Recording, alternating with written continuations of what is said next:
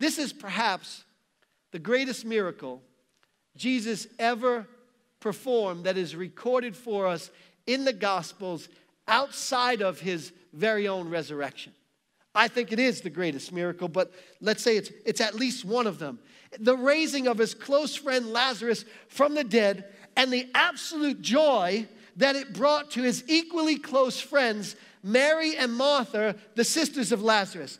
This was a family that spent lots of personal time with Jesus. Jesus hung out with this family away from the hustle and bustle of ministry and the people pulling on him and criticizing him. This family home was where Jesus visited frequently. It was a respite for him. He probably had holidays there, he crashed there. He felt comfortable enough with this family that on a moment's notice, he would say, I'm coming over. You remember when he stopped in? With the 12 disciples to, to Martha's and Mary's place. It was probably Simon's place. Simon the leper was probably a close relative, if not the father of Mary and Martha and Lazarus. And, and he stops into this house on a moment's notice without kind of calling in advance, knocks on the door, and says, Hey, we all decided to stop over for lunch. Can you fix us something? And you remember the story. Martha is frantically running all around, and Mary is at the feet of Jesus. But in order to stop over somebody's house unannounced for lunch, you have to have a close relationship with that person. Your relationship with that person has to be even closer if you have the audacity to come over with 12 of your friends unexpected and expect that person to open up their home and feed everybody without telling them that you're coming or without being invited. So there is a very, very, very special relationship. Jesus loved this family like his own.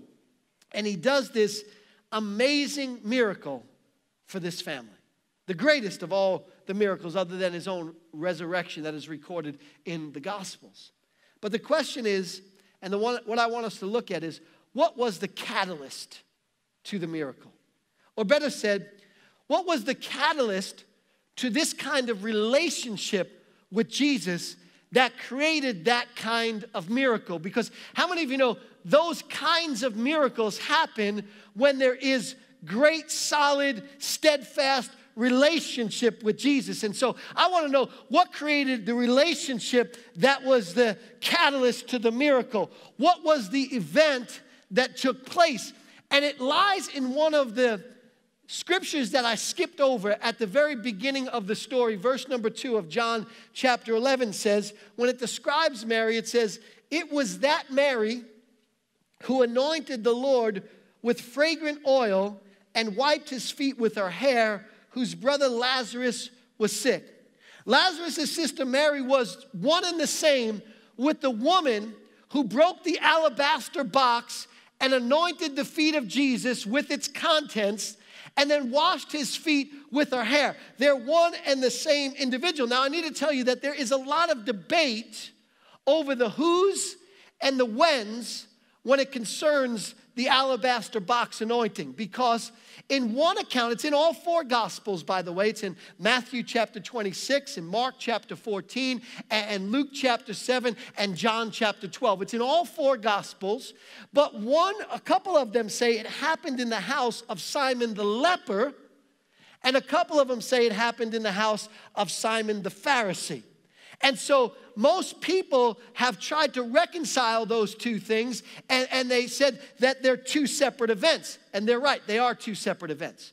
One anointing with an alabaster box and its contents in the house of Simon the leper, another anointing in the house of Simon the Pharisee with an alabaster box and its contents. And so the, the when's two separate events. But then they've asked, well, what about the who's? Because in some of the accounts, the who is clearly identified as Mary, the sister of Lazarus.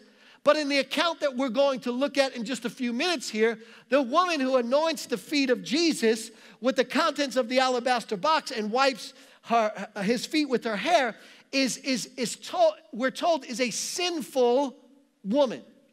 And the word sinful woman that is used here is somebody who is chronically immoral and more than likely the town prostitute.